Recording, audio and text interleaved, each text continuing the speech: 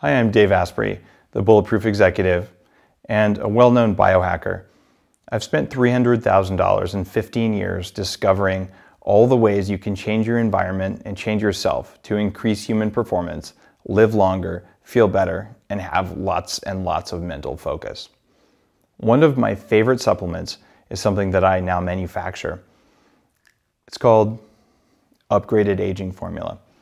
Upgraded Aging Formula is unique because it has four major effects all in a single supplement, so it's very efficient. It helps to regulate healthy blood sugar balance, which is a major problem in aging. When your blood sugar starts to go, you don't perform as well. It's also something that improves your cellular energy metabolism so that your cells make ATP more efficiently than they did before. ATP is the primary energy in your cells. This is also a major problem in aging. It also mimics caloric restriction. There are many studies that show eating less calories causes changes in your genes, and those changes help you to live longer.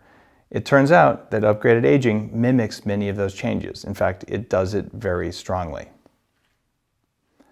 These are the reasons that upgraded aging is the one supplement that I take every single morning, no matter what, because I'm getting four major benefits by only taking one pill. So it's very bulletproof that way. Check it out today. I think you'll find that it's one of the things that you'll want to take on a regular basis to stay young longer. Designed to put in your nose. Mm-hmm. Um, so yeah, um, I've been playing around with that as well. Is this? It's good at parties too.